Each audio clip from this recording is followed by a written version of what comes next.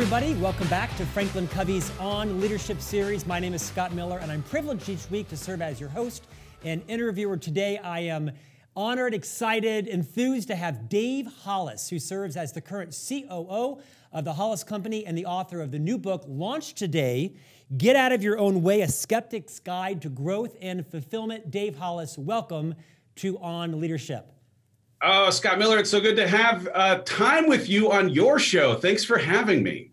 Hey, Dave, man, it's been great to know you. Uh, obviously, you are the lesser known, I'm kidding, uh, spouse of your wife, uh, Rachel Hollis, who has authored some amazing books last couple of years, right? Girl, Wash Your Face, Girl, Stop Apologizing. Together, the two of you are raising three young adult or four young adults. You are launching this global brand. You're changing the lives of countless millions through your organization. I'm excited to have you here today to launch your book. I got a pre press copy a few uh, weeks ago. The actual book is, um, I believe, hardcover. Is that right? Not soft cover? It is. It I is. have devoured this book. I have so many notes in it. Honored that you would take time out of your launch schedule from around the, the nation this week to join us on leadership. Uh, this book is going to light the country on fire. I mean, for all of you women out there that fell in love with Girl Wash Your Face or Girl Stop Apologizing, this is a very similar tome for men, recognizing that I think women will enjoy it just as much as men enjoyed your wife's book. Dave, I want to get into your book, but first I want you to take our audience on a bit of a journey, kind of where you've been uh, professionally, your family, and what landed you at the Hollis Company a couple of years ago. Right on. So, my wife and I, as you say, are working at the Hollis Company. We have been doing so in Austin, Texas for the last two years. But prior to that, I had a 20 or so year time in the entertainment business. I started at Fox inside of international research, went to publicity, jumped over into some grassroots marketing, a talent agency, and finished my entertainment career with a 17 year journey at the Walt Disney Company, during which time I worked inside of the movie studio the last seven of those 17 years working as the head of sales for our distribution, our film studio. And so uh, I had the benefit during that time of working with some of the greatest storytellers on earth and uh, some of the most prolific brands. I happened to have come into my job just as Pixar was acquired by the Walt Disney Company, followed then quickly by Marvel Studios and then Lucasfilm. And so my job selling movies to movie theaters was an amazing one, an incredible one, but ultimately one that was met with me having a learning curve that as it came down, uh, the leverage in having the greatest slate in the history of time made some of the things that were exciting about it a little bit easier to do. Uh, really a testament to the strength of the team that was surrounding me and these amazing brands that Bob Iger had brought into the family of films at the Walt Disney Company. So this this feeling, this getting straight A grades on tests for not having to study, was really putting me into a position of feeling a little stuck. I wasn't really growing. And at the same time, my wife had spent about 15 years of time building a business that was at a tipping point where she, as the creative and the visionary for what she wanted to do and putting tools in people's hands, found herself really needing an operator, an integrator to help take her business to the next level we had a series of conversations about doing something that most people, frankly, don't, leaving uh, my job as the president of distribution to go pursue our dreams together. And here we are two years later in Austin with a team when we moved of four, now at 65, and really hopefully having a, a lot of impact on the people who interact with us in community every day. I mean, Dave, you, you didn't do that whole story justice because you're humble. But I mean, I want the audience to, to feel and appreciate the fact that, I mean, you left at the pinnacle of your career in the most iconic brand in the world.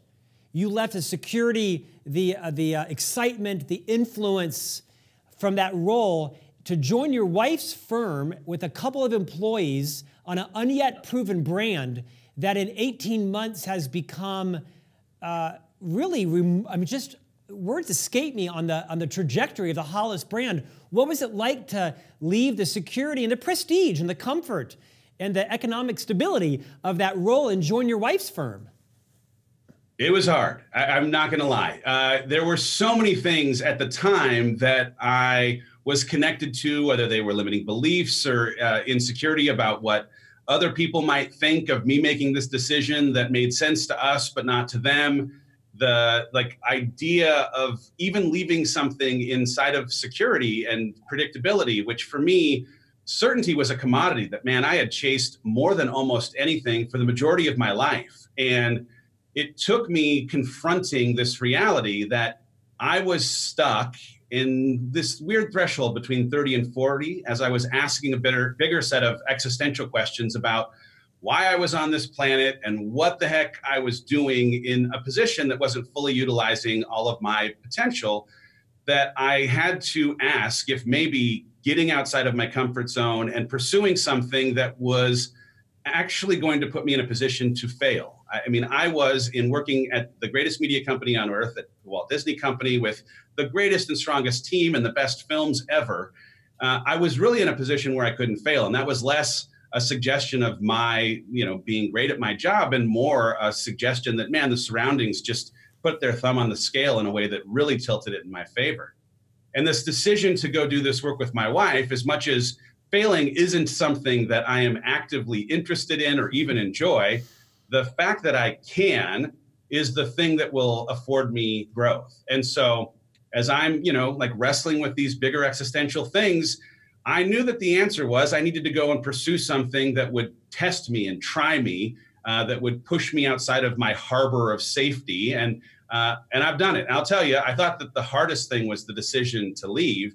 It was just the beginning of a series of hard decisions. It was yeah. hard to deal with the identity shift of being the primary breadwinner, of having a title that meant something from a company that meant something, that um, you know, had us chasing something that introduced failure at such a regular clip where those failures absolutely 100% have been for the way that we're building and growing this team. But during the beginning, I'll be honest, I saw the failures as somewhat an indictment on me, maybe not being the kind of leader that this organization needed, because I was coming out of an organization that didn't have failure happen on such a regular basis. All right. Dave, other than your charisma, good looks, cash in the bank, and eloquence, we have some things in common. And that is that I wrote a book, as you know, called Management Mess to Leadership Success, where I sort of um, uh, uncharacteristically for our brand shared a lot of my own messy journey in leadership. It's a very similar genre of writing in your own book. You know, Get Out of Your Own Way. You share in raw, relatable, real detail a lot of challenges that you've faced, brought on yourself, decisions you made that you had to recover from. You share an early one about being the high school valedictorian. I love this story because it just shows the willingness you are at age 45 to offer to the world your own struggles and to make it easier for everybody else. So you share what the story and the insight was from you being or not being the high school valedictorian. Oh yeah. So it's it's interesting because I in this chapter, each of the chapters is a lie that I once believed that in uncovering the truth makes that lie, that limiting belief unbelievable. And the lie here was that I did something wrong, so I am something wrong. And here is a person who had pursued achievement and recognition from that achievement for all of my life through my first 18 years. I, as the valedictorian and the speaker on the day of graduation, had uh, c- come to that place with also some of my humor, a thing that can at times be a defense mechanism as a part and parcel of who I am. And so, in the preparation for the delivery of this speech, that has still to this day not been heard, spoiler alert, I was pulled aside by a few of the administrators of the school and warned about how I needed to stick to my speech, how I could not extemporaneously throw things in or use my humor, that this was serious.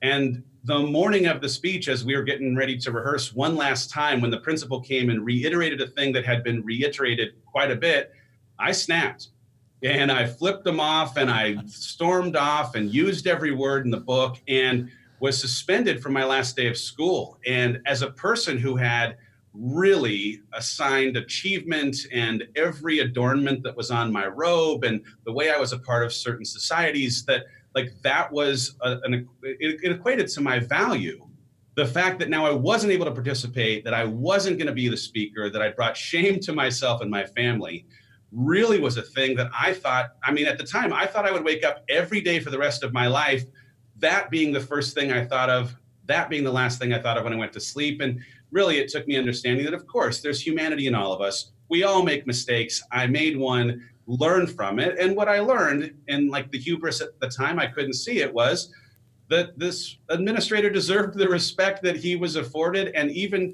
his bringing up to me that I needed to take it seriously was something that I should have taken seriously. I didn't need to react the way I did. But uh, anyway, I, I mean, I tell the story because you have inevitably, as a listener, made mistakes, but choosing to stay connected to that mistake and indicting yourself forever as being wrong or broken or whatever it might be uh, is just a story that you're telling yourself. You need to take the learnings from it and become stronger because of it, not chained down to whatever it is that you did. Dave, the tagline of the book is A Skeptic's Guide to Growth and Fulfillment. You've had an amazing career. Yeah, by all uh, confession, your marriage, like all of ours, has been up and down. You have four children. Pressures in life are extreme. You don't talk explicitly about the role that therapy has played in your life in the book. I mean, you, you mentioned a couple different places. Uh, what advice would you give to our listeners and viewers that might be struggling with their own growth, their own habits, their own challenges, in terms of the role therapy played for you and might play for them? Oh, I am such an advocate of therapy. Uh, if you take anything away from this, I hope that you in some way feel permission if today you don't think it a thing that should or be uh, in any way is available to you. Uh, for me, therapy was an important first step because as I was stuck, as I was getting in my own way, I, as I was doing things that today I am proud for having overcome, but at the time didn't have pride for. I needed to go and sit on the couch of an objective human being to unpack why I was doing the things I was doing, why I believed the things that I did, why the capital T truths of my life were the things that I believed. And in sitting in that room, in you know verbally processing some of the things that were sitting in the background of my unconscious, I was able to get a bit of an answer key, a trail of breadcrumbs that in following, I was able now to understand why I did the things I do so that I could not do the things I don't like to do. Uh, if I hadn't had therapy as a thing that could help step me through a little bit of that why, I wouldn't have had the way out of a place that had me completely and totally stuck. I cannot, absolutely cannot recommend therapy enough.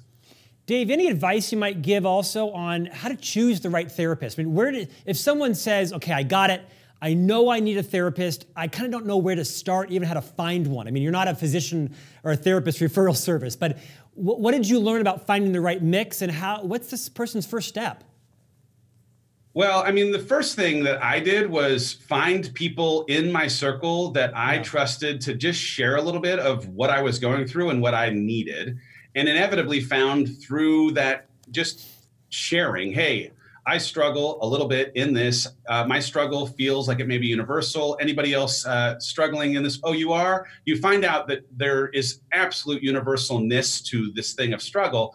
But in that, I found a friend in my circle who said, Hey, I actually have been seeing this person. You ought to go and see this person. Yeah. And uh, I went and uh, did it like you would a job that you're interviewing for. I interviewed this person uh, to see if there was a fit and uh, luckily for me, there was the first time. But in having had many now conversations with people as they're processing their own trauma, as they're processing their own struggle or their interest in, you know, just trying to get some answers as to why they do what they do, my best recommendation is to look and see like like a yelp you can find ratings for therapists online right now yeah. go and do an interview uh, if if someone is good, they will offer you the opportunity to ask them questions about the kind of services they provide. You'll get a vibe for who they are over a quick phone conversation, and then sit with them. And if it feels like a fit, fantastic. If it doesn't feel like a fit, you can find someone else. Uh, if you have never been to therapy, I will say this: the beginning will feel wonky. Like it's going to feel strange. It'll feel weird. And a little bit of it is you have to just kind of push through the beginning resistance that you have to something that, that's new and different until it becomes something that you're looking forward to and flows. David, it's gracious of you to kind of put those breadcrumbs down, as you said. I mentioned earlier the book is raw, but it's also riotously funny. One of my favorite parts of it is early on on page eight, where you talk about the, the debrief you got at, I think, one of your roles at Disney, where you had just been prattling on as a know it all in a meeting. And finally, your leader says something quite choice to you in the book that I'll let you say to whatever extent you want. Kind of recreate that scenario for us. And what did you learn from that? Yeah, you know, early on in my career, I definitely went through uh, some early promotions faster than some that had me triggered, like I think many people can be, with a bit of a feeling of imposter syndrome. I was sitting in a role that was, uh, because of its accelerated nature, putting me in rooms with people that I thought for sure were judging me as being capable for the title that I'd been handed. And so now, every time I found myself in a room, no matter the topic, when a silence would fall the room, I decided to insert every smart piece of information that I could to justify the worthiness of me sitting in the room. And that smart piece of content may, in fact, have had nothing to do with the agenda of the day's conversation. And at the end of one of these moments, uh, I was asked by my boss if I might follow him to his office. And I, yep, I'm imagining in real time that I'm going to go in for uh, whether it's one five or two, a statue of some kind being, you know, created in like memory of the fact that I've contributed beyond the call of duty inside of a meeting. Mr. Dave Hollis, please take this award. And the door closes, and he says, "Shut the f up." Except he didn't, uh, you know, just keep it at f. He pierced me right in my baby's soul. But he more or less said this: Look if we didn't think that you could handle this job, I wouldn't have put you in it. I have confidence in your ability to do this job, and your worry of what other people think of you doing this job, triggering you to try and justify your worthiness, is actually working against the thing you are trying to do. You are you are actually stopping people from believing that you should have this job. Quit sabotaging yourself. Trust that you are in this job because you can do it and get out of your own way. And it was, I mean, man, this was three years into my working at Disney, and it was one of the most important lessons I could have ever been given. And the delivery, honestly, as much as man, it hurt to hear, it was exactly the kind of delivery I needed to have it stick with me all these years later. Dave, I was delighted that you shared that story because I've had a very similar experience in my job here. 24 years with the Franklin Covey Company. I worked at Disney, you know, four years prior to coming here. I know the Disney culture very, uh, is very different than this. We have a very conservative uh, culture here. A couple of years ago, the CEO that I worked for, a man of impeccable integrity, uh, takes me aside after a meeting.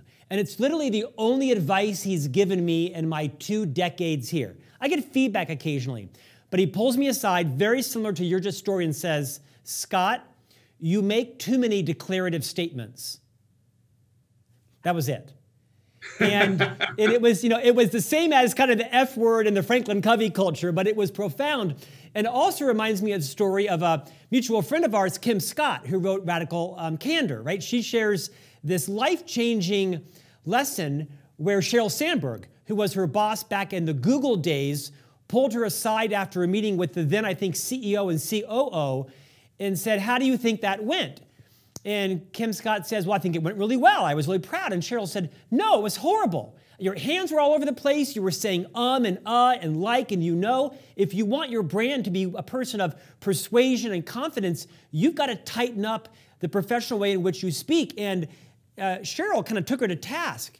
And Kim Scott, in her book and on my interview here, talked about how powerful that was as a transition figure in her own role. I share all of that to ask you how did that intervention at Disney instruct the way you lead the members of your team now in the Hollis Company? Oh, I mean, it's so profoundly. And it's interesting because Kim Scott, and whether it's her book or the videos that she has online, like those have been teaching tools inside of the teams that I've led for the entirety of my leadership journey. And as much as it's definitely something that I had employed at the Walt Disney Company and something that after I was teaching it at the Disney Company became something that Rachel was teaching at the company that existed before the Hollis Company, Chic Media. When we started working together, I'll tell you, we had to ourselves employ radical candor between us as business partners. Yeah in a way that was a departure from the way that we had historically been what I would call a little more codependent in not wanting to really have to tackle hard stuff, not want to bring things up that could maybe upset one of us or throw our mood off. Um, because here we come from working in separate spaces and are now spending a lot of time together but in doing that are you know running into problems on like the quarter hour. Like I wish that I could tell you that, man, we figured out how to not have problems here, but we have not figured out how to not have problems here. We have them all the time. We just have found that through radical candor, we can talk about them faster with less emotion because of all of the things that are in Kim's work. Like we have a care for addressing things quickly because of our respect for each other. And, you know, for us as a couple, I'll tell you, that was really hard at the beginning, but now the frequency of how often we have to have very direct, in your words, courageous conversations uh, has taken a lot of the sting out of it and is now what we have to do to be responsible to the 65 people here that depend on us working well and responsible to the relationship that we want to maintain after we get done working at the end of each day. Hey, Dave, let's transition to some more of the book. You know, for those who may not be aware of the Hollis Company yet, Uh, you and your wife together and your team of 65 will sell millions of copies of your collective books this year. You will have live events around the world, right? London and Toronto and Fort Myers and Charleston and Austin, where literally tens of thousands of people will show up for a three day life changing experience. Both you and your wife have online personal professional coaching sessions. I mean, the impact and the brand that you're building is significant. But this hasn't happened overnight because your wife toiled as a, uh, an author and a blogger for you know 15 plus years and you built a 20 year corporate career. And you came in as the CEO of what was essentially your wife's company. You own it together, obviously. And in the book, you share, word for word, I'm assuming, an email that your wife sent you early on when you joined the company as the CEO after stepping down from Disney. I won't read the whole thing, but I want to read a paragraph and I want you to ask me what were you feeling when you read it? Why did you include it in the book? And what hope did you, um, what, what help did you think it would offer the reader? I'm going to read this paragraph. This is what Rachel Hollis sends to you in an email. This is midway through. You tell me I need to tell you what I want you to do. You've been saying that ever since we made the decision to join forces. But my frustration comes because I shouldn't have to tell you the problems we have at work. Don't you get that? Your team shouldn't have to tell you the problems. You should be so in the business that you know our weaknesses and we can work on the strategy to make us stronger. That's my frustration. You're not in the business, you're floating above it. A CEO can and should work from 50,000 feet, but not with a business, a team, and an industry this new. Talk a bit about your feeling, why you included it, what you want the learning to be from that. Well, I mean, my immediate feeling when I read that was uh, like shot to the heart. I mean, it pierced my soul kind of feeling. Um, but one of the superpowers that I think we have in our relationship and that she certainly has as my accountability partner is the permission and the ability to very clearly articulate the areas where I can step up and get out of my own way. And I included it. I included it in a chapter where the lie was what got me here will get me there, uh, because I made the mistake of believing that the 20 plus years of entertainment experience that I had in primarily in primarily conglomerate big company environments would serve me perfectly as the now head of this small upstart business that we were going to go work on together. And so much of the muscle memory of the 10 previous years, forget the 20, but just even in the 10 previous years, where I was the leader of big teams, where each of those teams to a person had leaders on them that almost exclusively had more experience than I did at the discipline they were managing, had me with the benefit of people who were just so good and so tenured in their work that the role that I played for them as a leader was completely different than the kind of role that I have to play as a leader here inside of this small business. And she, as a person who'd been an entrepreneur for 15 years, who'd been toiling and working and modifying and failing and fixing, her business for 15 years, knew a thing that I could not have possibly known, even if I'd been as close an observer of her work for that decade and a half, that you have to roll your sleeves up, get your nails dirty in a way that was a departure from the idealized version of what a CEO does in the corporate conglomerate environment that I'd come out of. And I included it because inevitably pivot happens, right? You are going to find yourself one day in one season having a certain identity, and then it will change. And sometimes it's a change that you'll choose, and oftentimes it'll be a change that chooses you. And when you get in that new season where you're assuming a new identity, playing a new role, if you think the things that absolutely 100% worked last time are just like plug and play going to work going forward, I hate to tell you, you're wrong. And my being wrong like the fact that it hurt my feelings to have to like face this didn't change the fact that I was wrong. I was wrong. It was wrong to have thought the things I did. And the generosity of my wife being exceptionally clear helped me find ways to address the things that I wasn't doing for my team. I was still contributing some fantastic value, don't get me wrong, but I wasn't doing some of the things they needed most when it came to leading them on the day to day. And here's the thing, too. I mean, like this is a little bit of the Kim Scott in us come to a even further place. We've committed as a couple and as business partners that sometimes our courageous conversation, sometimes our radical candor has to take place in the form of email because I am a little more of a debater. She's a little more of a thinker. And I can pretty quickly shut her down in a way that ends up actually having me show up as a bully. Yeah. It's like the worst version of myself. And so we agreed, hey, if there's a dis, if there's a you know discrepancy or a, or a disagreement of some kind in our approaching the business or in our relationship that you feel like may have me using one of my superpowers as a super weakness and start debating and cutting you off or any of the then let's put it on paper so this as a vehicle for us allows each of us to read the entirety of the thought sit with it, even as it hurts, and then process a, a, reaction that can a little more objectively meet the person where they can hear the reaction that isn't so wrapped in emotion. And so part of why I wanted to include it was also to model there is a way for you to have hard conversations, even if you're a person that doesn't necessarily excel at the talking in the conversation, you can still have great communication through other form, like writing a note.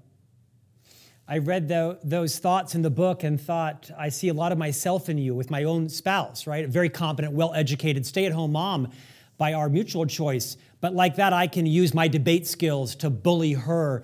I don't think I had those words around it until I read that chapter. The book's been profoundly helpful to me. Chapter three, The Lie. I have it all together.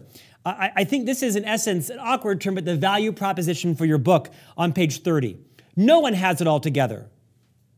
And the people who are willing to admit that freely, who are willing to admit that first, will disarm and connect with the people they care about most in life.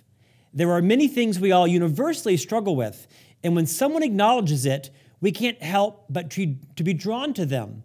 You know, like you, Dave, I think I also, when I kind of hit my late 40s, used vulnerability as my strength. I call it hanging a lantern on your problem, right? I mean, yes, I have a short attention span. Yes, I have a stutterer. Yes, I have imposter syndrome. Yes, I'm overly passionate about everything in life and find it difficult to focus.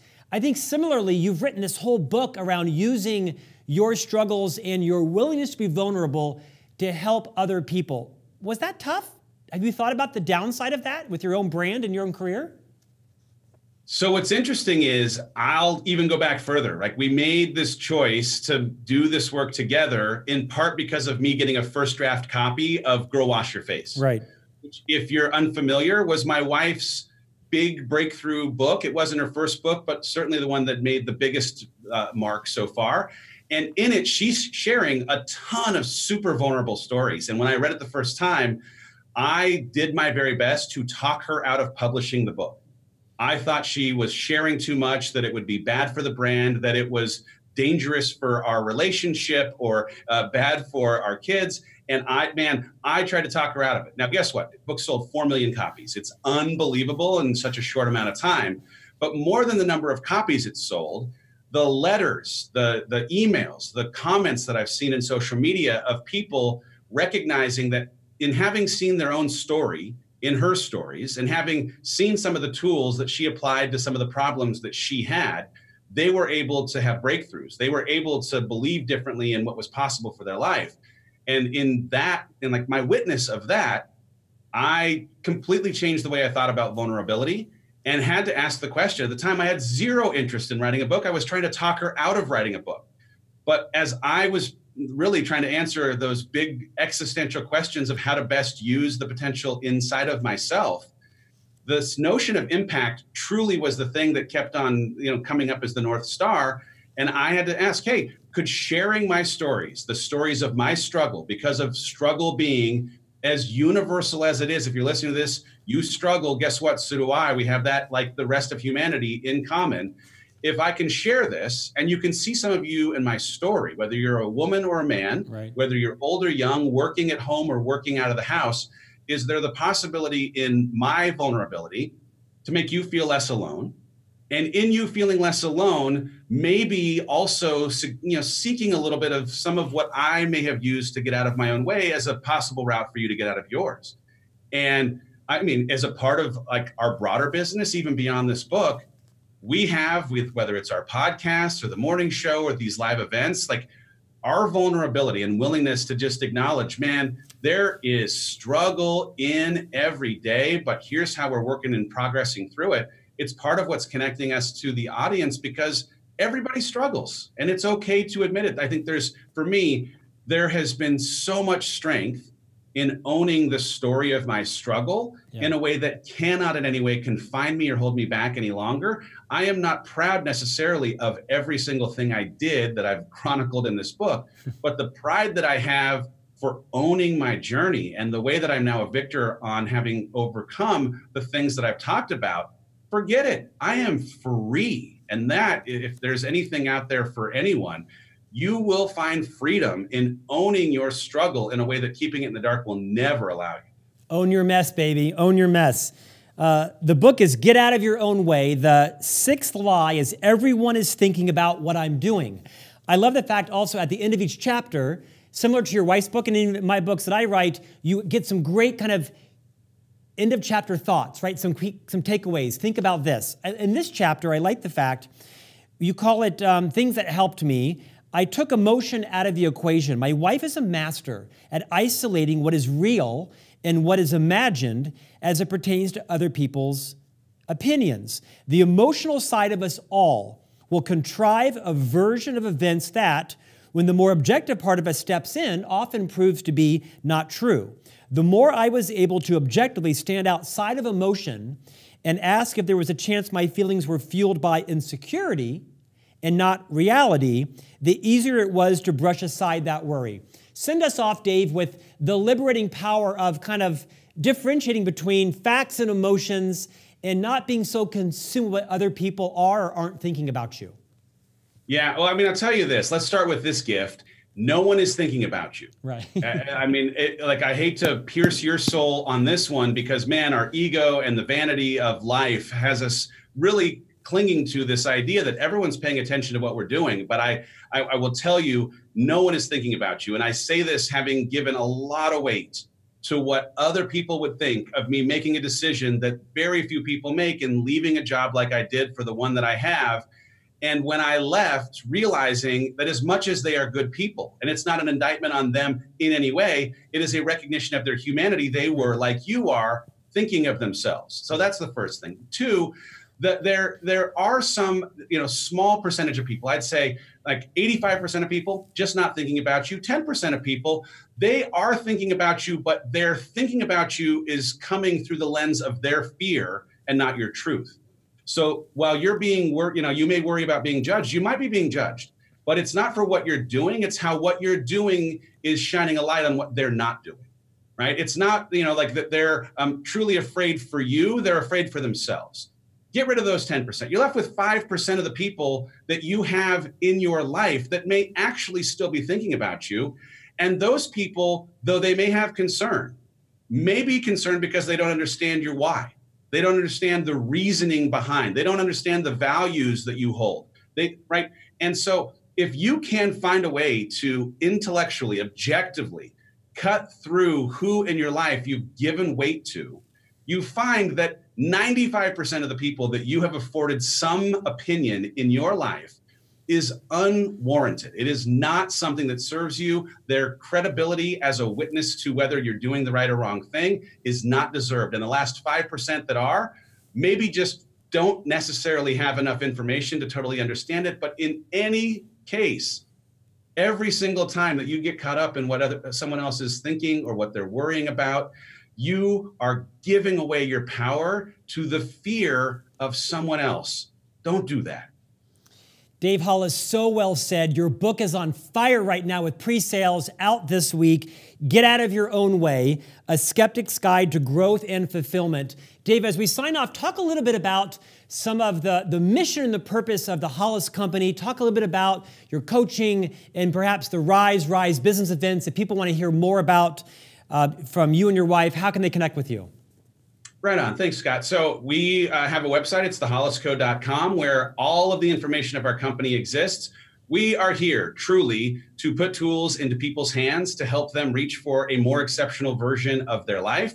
We do that through these books. We do it through our live events. There's a three day women's conference called Rise. There's a three day business conference called Rise Business. We've just announced a run that we're doing in December called Rise Run.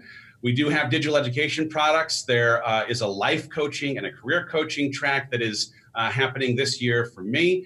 Uh, we have podcasts and Rise and Rise Together. And we do a fun morning show every morning called the Start Today Morning Show on Facebook and Instagram. We live a strange life, but we're having some fun. I don't know if I'm embarrassed or proud to admit that I'm so addicted to your morning Facebook Live program. I have my phone propped up in my bathroom as I'm shaving. The problem is I can't hear it when I'm shaving. So I have to like watch the program. I'm, I'm texting or emailing you half the time about how much I'm enjoying it. It's a great way to send off everybody to kind of work in their day in the morning. It's a gift you and your wife give um, all of us that are subscribing and listening. Dave, thanks for your time. You don't need it. But best of success this week as you're out across the nation. How many events are you doing for your book? I have 21 book tour. I mean, at this point, 21. Who knows how many we're going to do? But I got 21 on the calendar. I am ready to go. Hey, I got some street cred when it comes to books. And to all of those who are listening, I've read all these books back here. This book, Get Out of Your Own Way by Dave Hollis, launched this week, is going to earn a place of fame on the wall behind me. Dave, thank you for taking time out of your book launch schedule to join us. Look forward to collaborating in the future. Thank you, Scott. I so appreciate you giving me this opportunity. And thank you to the audience for listening. I hope it was uh, helpful in any way my audience, I tell you, it's a great book. Buy it for your father, your husband, your brother. But it's also like Rachel's books. I thoroughly enjoyed Girl Wash Your Face, Girl Stop Apologizing. My wife and I have been like passing it back and forth in bed the last two weeks because that's how great it is. We appreciate you joining. If you're not subscribing to On Leadership, visit franklincovey.com, click on the On Leadership button, subscribe, rate it, rank it, review it on all your favorite podcast channels. And we'll see you back here next week with a new guest for On leadership.